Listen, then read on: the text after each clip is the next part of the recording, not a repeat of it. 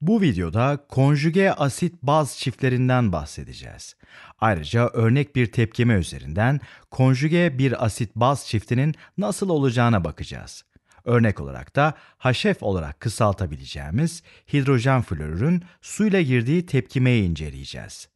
Zayıf bir asit olan hidrojen florürü su ile birleştirdiğimizde yalnızca bir kısmı çözünür. Yani HF molekülünün bir kısmı çözünür ve böylece elimizde F eksi kalır. Daha sonra çözünen H artı iyonu su molekülüne aktarılır. Böylece su molekülümüz H3O artı molekülüne dönüşür. Bunu hidronyum olarak da adlandırabiliriz. Bu süreç ileriye gidebileceğinden veya tersine çevrilebileceğinden dinamik bir denge içerisindedir. Sonuç olarak da bu iki oranın birbirine eşit olduğunu ve ikisinin de aynı anda gerçekleştiğini söyleyebiliriz. Yani bu tepkimede birden fazla olay gerçekleşmekte. Ancak şu anda bu tepkimeyi el değiştiren hidrojen iyonu sayısına göre ele alacağız. Buradaki hidroflorik aside baktığımızda ve ileri yönü düşündüğümüzde HF molekülümüz F eksiye dönüşür. Bunu da bir proton vererek veya kaybederek gerçekleştirir. Böylece proton kaybeden HF molekülü sonucunda florür iyonu olarak da adlandırılan F oluşur. Bu süreci ters yönde de ele almamız mümkün. Tepkimenin ters yönde gerçekleştiğini varsayarsak florür iyonu dışarıdan bir proton alır. Örneğin dışarıdan bir H artı yani proton alabilir. Yani florür bir proton aldığında HF molekülümüze geri dönmüş oluruz. Bu durumda HF ve F arasında özel bir ilişki olduğunu söyleyebiliriz. Buna göre proton alınca veya verince ikisinden biri oluşur. Su ve hidronyum arasında da benzer bir ilişkiye rastlamak mümkün. Buradaki su molekülü HF molekülünden bir proton alır ve bu durumda hidronyum meydana gelir. Ters tepkimede ise yeniden su oluşturmak için hidronyum bir protonunu verir. Yani eksi H artı. Bu durumda bir H artıya sahip olup olmamalarına göre su molekülüyle hidronyumun birbiriyle bağlantılı olduğunu yani birbirine benzediğini söyleyebiliriz. Kimyada bu şekilde birbiriyle bağlantılı olan moleküllere konjüge asit baz çiftleri adı verilir. Bu çiftleri ben şöyle tanımlıyorum.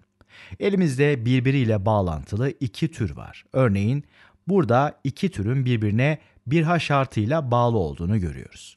Bu durumda HF ve F eksinin bir H artı sayesinde birbiriyle bağlantılı olduğunu söyleyebiliriz. Yani HF ve F eksi konjüge asit baz çiftine örnek olarak verilebilir. Su ve hidronyum moleküllerinin de bir H artı sayesinde birbiriyle bağlantılı olduğunu biliyorduk. Bu durumda su ve H3O moleküllerini de konjüge asit baz çiftine örnek verebiliriz. Büyük ihtimalle adından zaten anlamışsınızdır. Elimizde bir adet konjüge asit baz çifti olduğunda çiftteki moleküllerinden biri daima asit, diğeri de daima baz olur. Hangisinin asit, hangisinin baz olduğunu ise Bronsted-Lowry asit baz tanımına bakarak anlayabiliriz. Bronsted-Lowry tanımına göre H artı verebilen her şey asit olarak değerlendirilir. Bu durumda örnekteki hidroflorik asidin konjüge asit baz çiftinde asit görevini üstlendiğini söyleyebiliriz. Bu da florürün baz olduğu anlamına gelir. Bu aslında oldukça mantıklı. Çünkü Bronsted-Lowry tanımına göre H artı alan her şey baz olarak değerlendirilir. Ters tepkimede de florürün bunu yaptığını görüyoruz. F eksi burada H artı alarak asit formuna geri dönmüş. Su ve H3O artı örneğine de bakalım. Burada proton kazanan ya da daha doğrusu alan su molekülü baz olarak tepkimeye girer. Ters tepkimede proton veren H3O artı molekülü ise tepkimeye asit olarak girmiş olur. Bu durumda konjüge asit baz çiftleri arasındaki ilişkiyle ilgili çıkarımlarda bulunabiliriz. Asidimizi HA olarak gösterelim. Asidin proton veren taraf olması gerektiğini söylemiştik. Bu durumda HA bir protonunu kaybeder ve bu sayede konjüge bazın oluşmasını sağlar. Bazımızı da A şeklinde ifade edelim. Ters tepkimede ise A bazı bir proton alarak yeniden asit olur. Yani A gibi aynı formüle sahip iki tür olan her durumda türlerin birinde H artı var ve diğerinde yoksa elimizde bir konjüge asit baz çifti olduğunu söyleyebiliriz. Şimdi birkaç tane daha konjüge asit baz çifti örneğine bakalım. Önceki örnekte HF olarak kısalttığımız hidroflorik asidin konjüge bazının F- olduğunu görmüştük.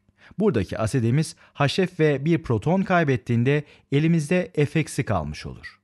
Aynı tepkimede suyun da baz olabileceğini görmüştük.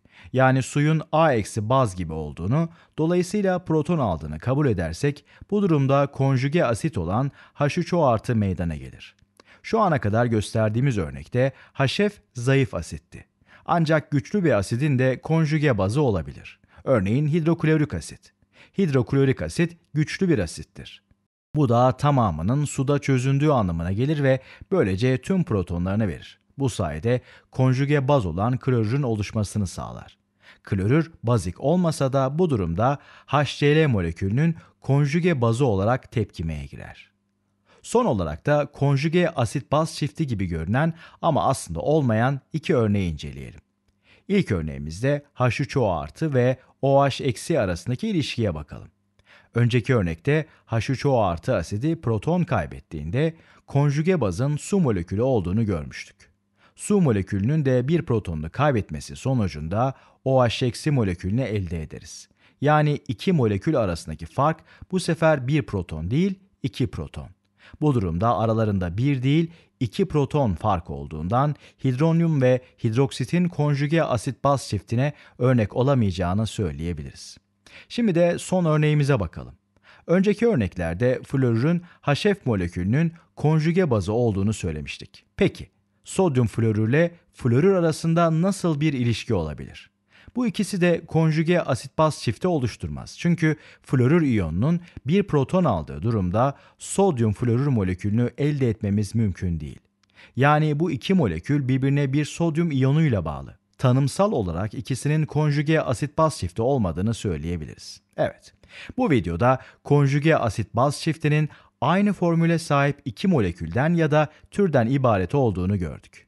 Tabi bir tanesinde ekstra bir proton var. Bu durumda asit bir proton verirken baz bir proton alır.